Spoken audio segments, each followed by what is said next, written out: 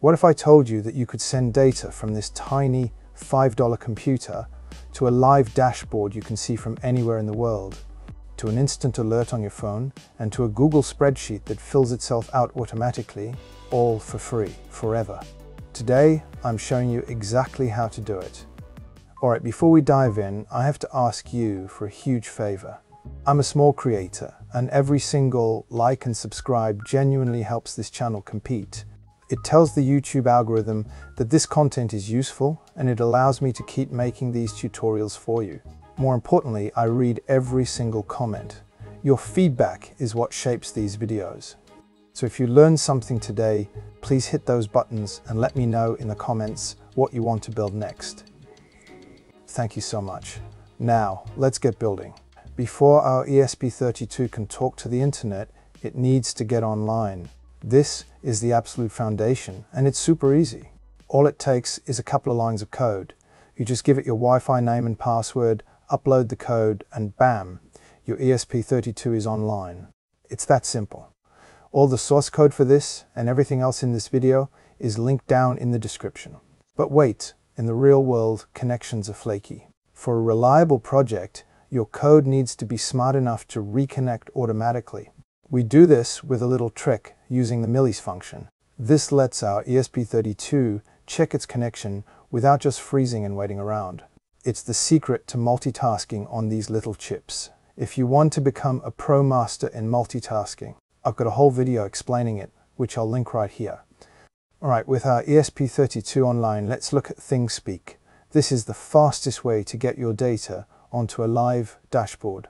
It's perfect for visualizing sensor readings over time. ThingSpeak also lets you export your data. The setup is fast and simple. You go to thingspeak.com, create a free account, make a new channel, and the only things you need are your channel ID and this secret write API key. Now, we jump into the code.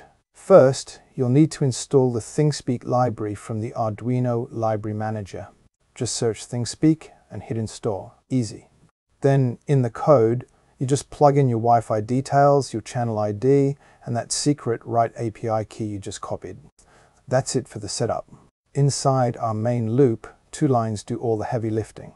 ThingSpeak.setField is where we prepare our data we're telling it, hey, for field number one, I want you to send this value, which for now is just a random number. If you had a temperature sensor, you put your temperature reading here. ThingSpeak.WriteFields takes all the data you've set and sends it off to your channel. See this delay, 20,000 at the bottom? This sketch is designed to repeatedly log data every 20 seconds. So it'll send a value, wait 20 seconds, and then send another one, creating a continuous graph in ThingSpeak. This is great, but be warned that this will eat battery life. For a battery-powered project, you'll definitely want to use deep sleep mode, which I cover in my video right here, also linked in the description. I know looking at code can be a bit much in a video, so I've broken down every single line in a detailed companion tutorial on my website, which is linked in the description, or you can visit it from the QR code right here. I've uploaded the code, and now for the moment of truth. Yes, look at that. Our ESP32 is sending data and our graph is updating live. How cool is that? ThingSpeak isn't just for pretty graphs. This is a powerful data storage engine too. On your channel, there's a data import-export tab. With one click, you can export all of your recorded data as a CSV file. It means you can download your data and pull it into Excel or LibreOffice for some serious analysis later on so you get the best of both worlds, live visualization and long-term storage. Graphs are awesome, but sometimes you need to know about something right now. For that, we're using ntfy.sh to send instant alerts directly to our phone. This is so simple. You download the ntfy app and then you subscribe to a topic. The trick is to make this topic name a secret that only you and your ESP32 know. Now for the code. It's even simpler than ThingSpeak. We just define our secret topic ID and then our code makes a simple web request posting a message to that topic's URL. Again, for a super detailed breakdown, check out the companion article on my website. But the short version, this send notification function takes your message, builds the correct URL, which is just ntfy.sh slash your topic name, and then uses the built-in HTTP client library to send a post request. It's basically the same as a web browser submitting a form online, but your ESP32 is doing it automatically. In our main loop, we have a little flag to make sure it only sends the message once. In a real project, you'd change this to trigger on a sensor event, a button press, or a temperature going over a certain limit. Okay, the code is uploaded, the ESP32 is online, I'm looking at my phone any second now. Boom, there it is.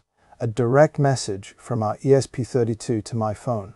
Imagine hooking this up to a motion sensor or a switch. You've just built a free personal alarm system.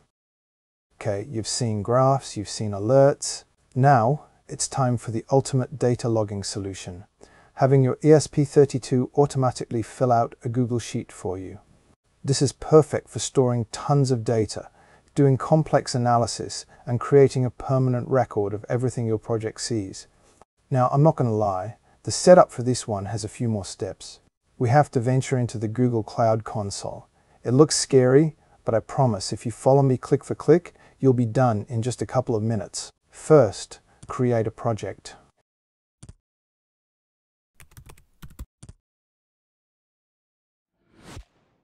Next, enable the Google Sheets and Google Drive APIs.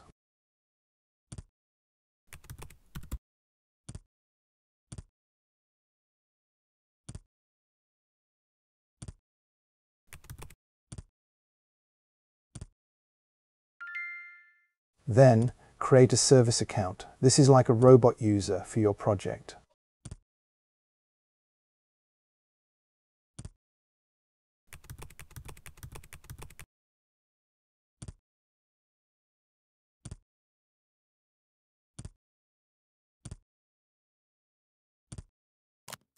Create a JSON key and save it. These are your secret credentials.